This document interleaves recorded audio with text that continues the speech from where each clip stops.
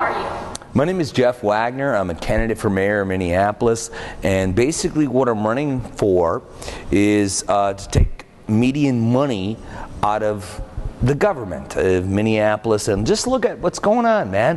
Uh, the government shut down. Why was it shut down? Number one, uh, two main parties, okay?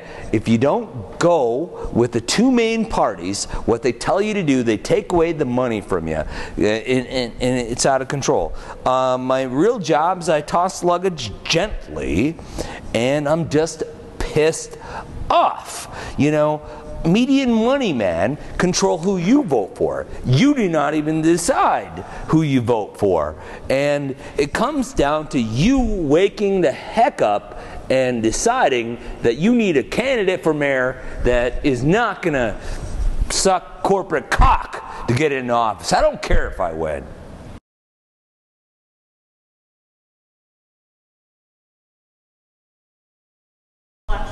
Well, it's funny you ask that. Ranked choice voting is cool.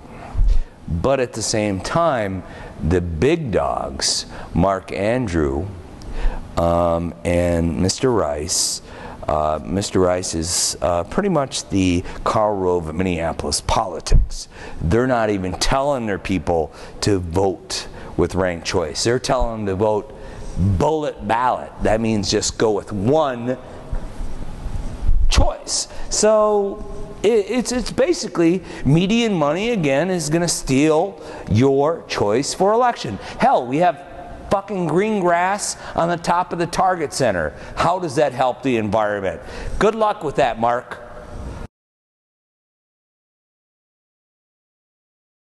To wake people up, couple things uh, renters' rights, rent control, legalized marijuana. It's a state issue, but 19 states have legalized marijuana. People suffer cancer and epilepsy and all this stuff. And then the biggest thing, the biggest thing, misallocation of money. $190 million going to the Wilfs. He spent $8 million out of that if you do the math. You're getting effed. And all we're trying to do is wake you up. Take the second choice on the ballot for Jeff Wagner. Check us out at our website, wakethebeepup.com.